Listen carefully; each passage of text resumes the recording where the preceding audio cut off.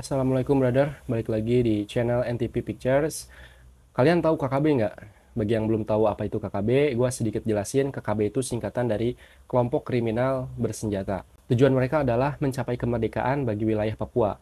Mereka menganggap Papua sebagai entitas yang terpisah dan ingin melepaskan diri dari Indonesia. KKB dikenal sebagai Tentara Pembebasan Nasional Papua Barat atau disingkat TPNPB. Kelompok ini pada hakikatnya bergerak di bawah OPM, brother.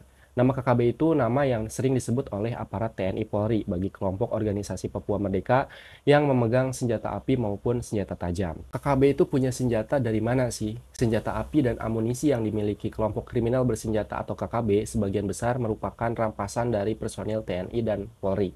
Nah, ngomong-ngomong masalah KKB, beberapa bulan yang lalu viral di media sosial tentang video seorang brimob yang dimutilasi kelompok bersenjata tersebut. Aksi kekejaman KKB yang memutilasi mob ini sangat keji, brother. Karena video yang berdurasi sekitar 2 menit 20 detik tersebut menampilkan aksi biadab yang dilakukan KKB Papua.